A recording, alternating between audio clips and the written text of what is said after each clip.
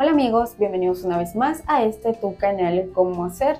El día de hoy hablaremos acerca de cómo activar el modo invitado en tu iPhone. Si te interesa este tema, no perdamos más tiempo y comencemos.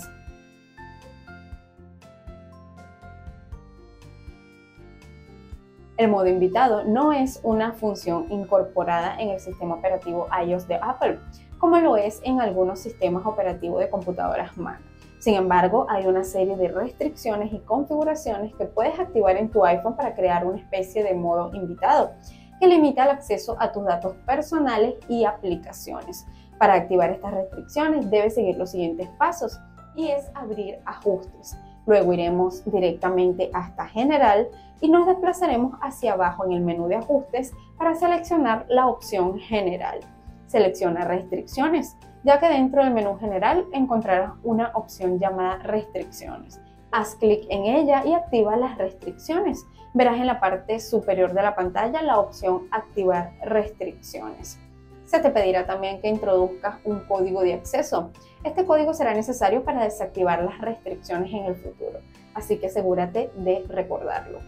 Una vez que las restricciones estén activas, puedes seleccionar qué aplicaciones y funciones quieres que estén disponibles para este modo invitado. Puedes bloquear aplicaciones preinstaladas o impedir la instalación o desinstalación de nuevas aplicaciones. También puedes bloquear el acceso a las tiendas de Apple y muchísimo más. Una vez que hayas configurado todas estas restricciones a tu gusto, simplemente sal de los ajustes. Los cambios se guardarán entonces automáticamente. Una vez que las restricciones estén activas, puedes elegir qué aplicaciones y funciones están disponibles para el modo invitado. Puedes también bloquear las aplicaciones que ya vienen de fábrica en el teléfono, tales como Safari, FaceTime, Podcast, etc. Y también las que tú hayas instalado.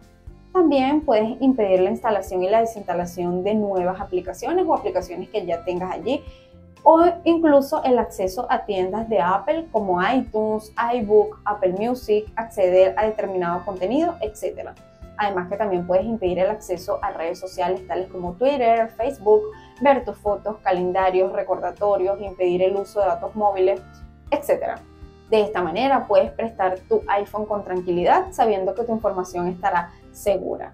Como ves, aunque el iPhone no tiene un modo invitado incorporado como tal, sí puedes utilizar algunas restricciones y configuraciones disponibles para crear un entorno seguro, limitando para cuando necesites prestar entonces tu teléfono. Así puedes compartir tu dispositivo con muchísima tranquilidad y sin temor a que violen tu privacidad y seguridad. Bueno amigos, hemos llegado al final de este video.